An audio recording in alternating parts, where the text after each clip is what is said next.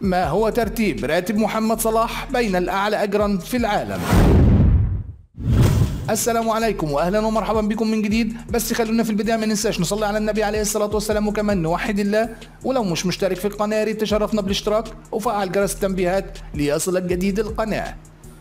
سادت حالة من التضارب بشأن الراتب الذي سيتقاضاه محمد صلاح مهاجم ليفربول الإنجليزي في عقده الجديد داخل ملعب إنفيلد.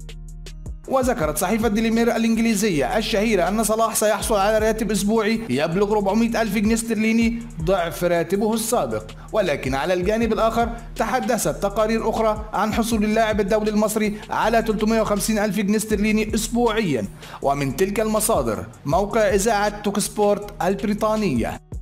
وأشارت ديلي ميرور من جانبها إلى أن راتب صلاح الجديد 400 ألف جنيه استرليني أسبوعيا سيجعله رابع أعلى اللاعبين أجرا في العالم والأول في الدوريات الأربعة الدوري الإنجليزي والأسباني والإيطالي والألماني. ولن يتفوق على صلاح في قائمة الأعلى أجرا إلا ثلاثي باريس سان جيرمان الفرنسي. كيليان مبابي وليونيل ميسي ونيمار دا سيلفا. أخي الكريم لا تنسى الاشتراك بالقناة وتفعيل جرس التنبيهات ليصلك جديد القناة. دمتم في رعاية الله وأمنه والسلام عليكم ورحمة الله وبركاته.